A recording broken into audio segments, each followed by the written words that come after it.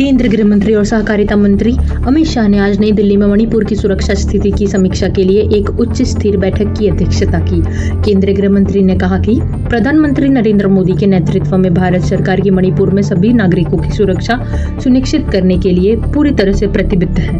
अमित शाह ने मणिपुर में शांति और सौहार्द बहाल करने के लिए केंद्र बलों की रणनीति तैनाती पर ज़ोर दिया। कहा कि ज़रूरत पड़ने पर बलों की संख्या बढ़ाई जाएगी। गृह मंत्री ने राहत शिविरों की स्थिति की भी समीक्षा की और भोजन, पानी, दवाइयाँ और अन्य बुनियादी सुविधाओं की उचित उपलब्धता के लिए निर्देश दिए। गृह मंत्री ने हिंसा में शामिल लोगों के खिलाफ सख्त कानूनी कार्रवाई करने के निर्देश दिए। अमित शाह ने मणिपुर के मुख्य सचिव को विस्थापित लोगों के लिए उचित स्वास्थ्य और शिक्षा सुविधाएँ सुनिश्चित करने के लिए और पुनर्वास का निर्देश दिया। केंद्रीय गृह मंत्री ने कहा कि गृह मंत्रालय जल्द से जल्द दोनों समूहों, मितई और कुकी से बात करेगा ताकि जातीय विभाजित को पाटा जा सके।